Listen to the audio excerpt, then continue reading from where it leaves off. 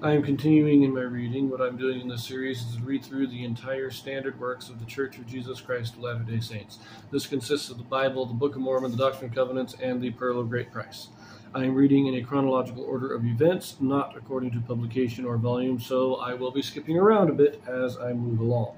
Right now, I am reading in the book of Leviticus. This will be chapter 10, and I do want to point out that I have my son with me here today. He is not on camera, but you may hear him, and I may have to pause to say hello to him now and then. So let us read chapter 10. Nadab and Abihu perform unauthorized sacrifices and are slain by a fire from the Lord. Aaron and his other sons forbidden to mourn for them. Aaron and his sons to abstain from wine and strong drink. They are to teach all that the Lord revealed to Moses. And Nadab and Abihu, the sons of Aaron, took either of them his censer, and put fire therein, and put incense thereon, and offered strange fire before the Lord, which he commanded them not. And there went out fire from the Lord, and devoured them and they died before the Lord. Then Moses said unto Aaron, This is it that the Lord spake, saying, I will be sanctified in them that come nigh me, and before all the people I will be glorified. And Aaron held his peace. And Moses called Mishael and Elzaphan, the sons of Uzziel, the uncle of Aaron, and said unto them, Come near, carry your brethren from before the sanctuary of the camp. So they went near and carried them in their coats out of the camp, as Moses said. And Moses said unto Aaron and unto Eleazar and unto Ithamar his sons, Uncover not your heads, neither rend your clothes, lest ye die, and lest wrath come upon all the people. But let your brethren, the whole house of Israel, bewail the burning which the Lord hath kindled. And ye shall not go out from the door of the tabernacle of the congregation, lest ye die for the anointing oil of the Lord is upon you. And they did according to the word of Moses.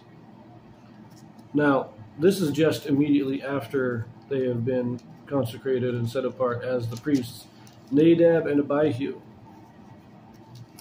They go out and they offer what is called strange fire. In other words, I think this was, it says they took their censer and incense in their hands, right? So the altar of incense, you're only supposed to burn a very specific type of incense with a very specific chemical mixture in it. They were burning something else. They took it upon themselves to add to the sacrifices that God had put in. Basically, as I said in other in other chapters, that the incense, the burning of incense, is supposed to represent our prayers going up to God by burning a different incense, they were in essence praying a, a false prayer. Or they were showing the people that they could pray to other gods.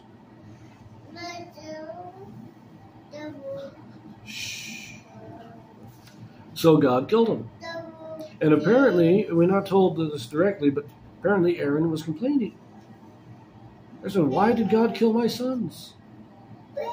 And Moses told him, Because God gave his command. He said, If you are going to be doing this, you have to be sanctified.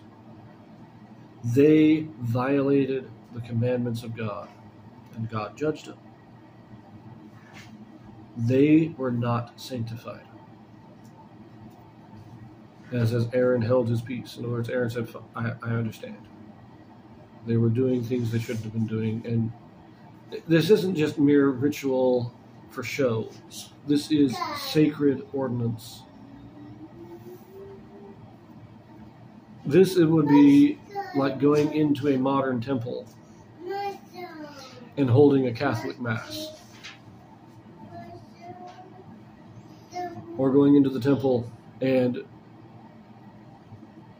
you know performing the uh, ordinances of the uh, of Islam. That, that's that's kind of what they, that's in essence what they were doing. They were violating the sanctity of the temple by doing what they were doing. So they were killed. They were taken out of the camp to be buried. And Aaron and his other two sons, Eleazar and Ithamar, are forbidden to mourn for. I don't think it was saying that they're not. They are forbidden to uh, feel sorry. They can mourn personally, but they were forbidden to give an outward show of mourning. So you guys are the priests. You have to keep your clothes on.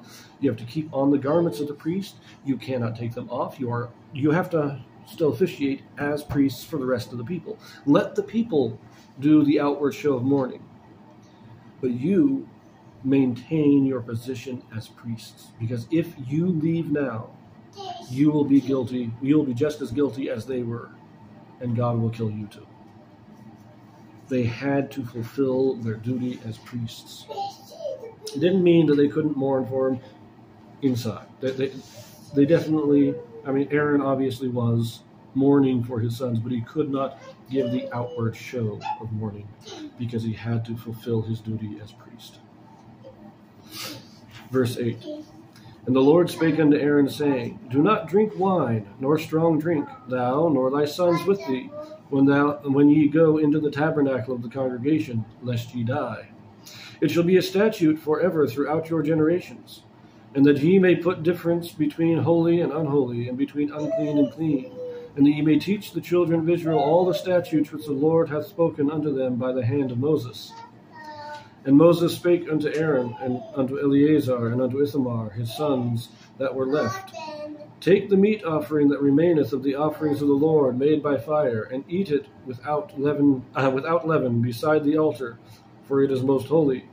And ye shall eat it in the holy place, because it is thy due, and thy sons' due of the sacrifices of the Lord made by fire. For so I am commanded. And the wave breast and heave shoulder shall ye eat in a clean place, thou and thy sons and thy daughters with thee, for they be thy due and thy sons' due, which are given out of the sacrifices and peace offerings of the children of Israel.